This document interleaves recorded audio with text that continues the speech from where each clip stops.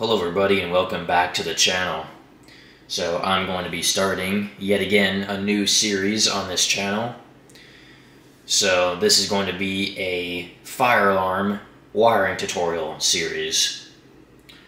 So I'm just going to start off by introducing this panel.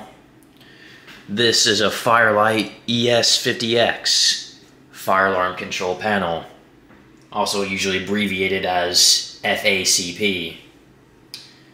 So, this is an addressable fire alarm system as compared to conventional, but we're not going to dive too far into that in this particular episode. That will be discussed in a future episode. So, since this is the first video in the series, I'm going to be showing you guys how to bring in power to the panel. So, when it comes to bringing in power to the fire alarm control panel, well, you see these terminals down here? Yeah, that's where the incoming AC power goes into. And there are multiple ways of going about that. Uh, the way that you're supposed to do it, if you actually work for a company in which professionally installs these panels, the way you're supposed to do it is wire in the panel's power directly to a circuit breaker. But given the fact that uh, probably most of you watching this, including myself, um, are not professional electricians, um, there's also another way to bring in power, which is the enthusiast way. And that would be by using an extension cord to do so. So in my case, I bought a male to female extension cord. Yeah, one end, one end is the plug here, and then the other one had the female socket. But we cut off the female end, and then we're going to expose the individual wires on that end, and then put it in those terminals. Of course, another thing I should mention, and which you guys might have already picked up on just based off the fact that we're using an extension cord, is the fact that we're dealing with straight 120 volts coming out of the wall. Yeah, it's not like a security system where we're going to be using a wall transformer that steps it way down from 120 to some other low voltage. No, we're dealing with straight 120 volts um, going into the panels terminals there. So we need we definitely need to be uh, much more careful on this one. And yeah, when we're wiring in power, you definitely want to wire up the panel side first before you plug in the other end into the wall. And not the other way around. Unless you want to you know, you want it to be guaranteed that you're going to come in contact at 120 volts. So now we're going to jump into stripping one end of the extension cord in order to wire it in to the panel. So like I said earlier, this is a male to female extension cord. Of course, we need to keep the male end in order to plug it into the wall. So we're going to be stripping the female end. So yeah, I've cut that clean off. So we're going to be, so we're going to start off by stripping off the shielding of the extension cord, probably from where my pointer finger is to where my thumb is. So, yeah, we're to need a pair of wire strippers similar to this. And then usually what I do is with little squeezes at a time and going around in a full circle. You want to be not too gentle, but not don't squeeze it too hard either because you don't want to cut the wires inside.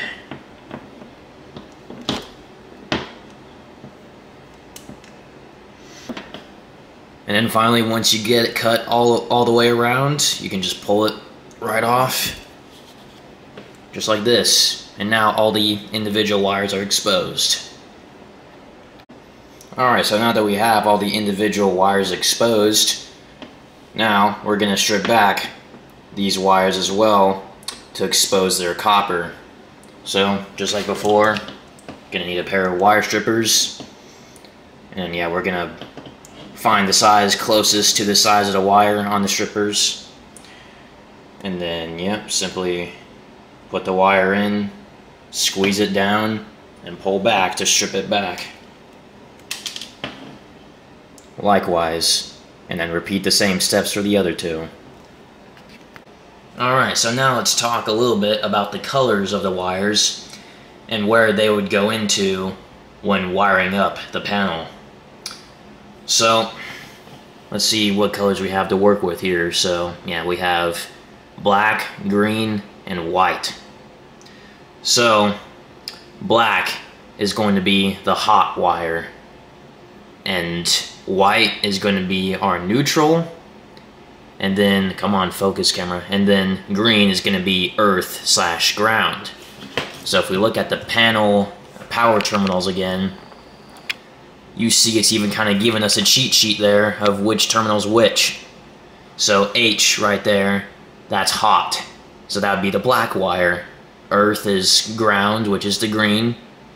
And neutral, I don't know if I said neutral before, but yeah, that would be our white wire.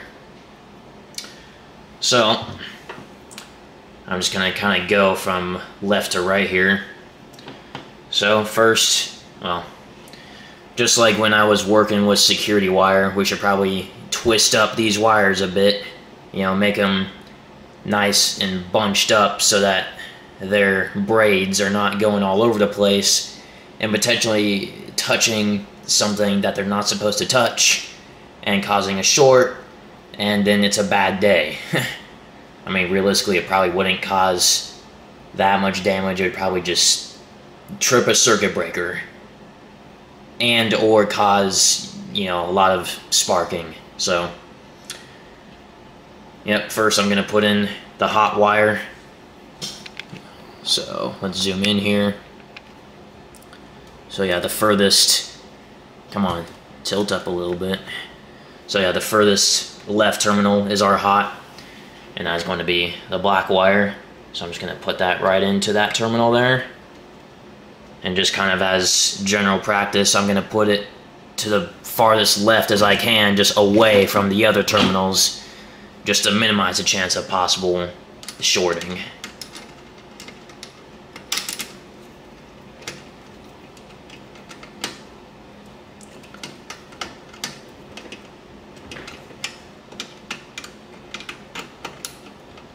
And then yeah, make sure the screw in that terminal is nice and tight.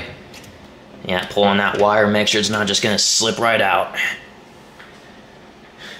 And then our green wire is our ground, which is gonna go into the earth terminal on the panel here. Yeah, what I don't like about that right there is that single piece of wire braiding wandering off from the ground.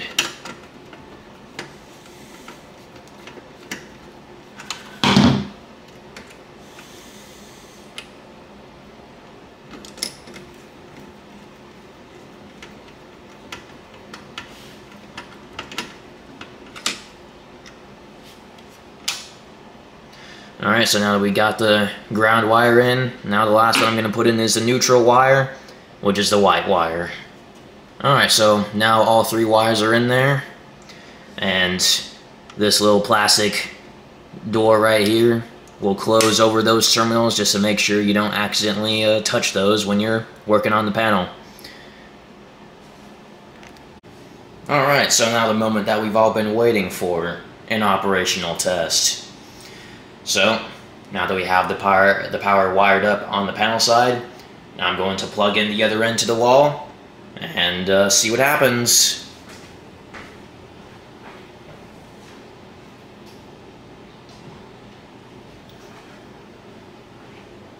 Oh, I saw some lights there. That's usually a good sign.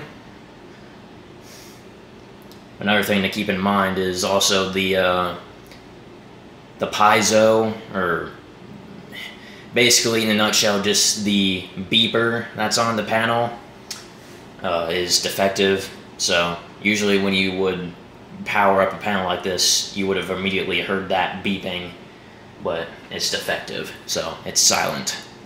But at least it looks like we have some lights going on and looks like we have activity on the LCD screen.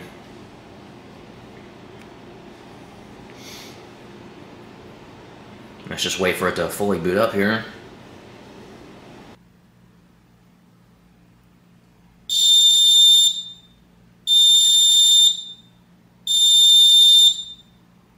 Man, it, looks like the the piezo, or however the heck you say that, the beeper seems to have um, come to life temporarily there, but it looks like um, now we're up. The panel's on the main screen here, and yeah, it's just yelling at us about a bunch of troubles since we don't have hardly anything connected to it. But, yeah, it looks like we're fully up here. So, it appears that we have successfully powered up the fire panel. So that's going to conclude it for this panel. Um, thank you all for watching, and I'll see you guys in the next one.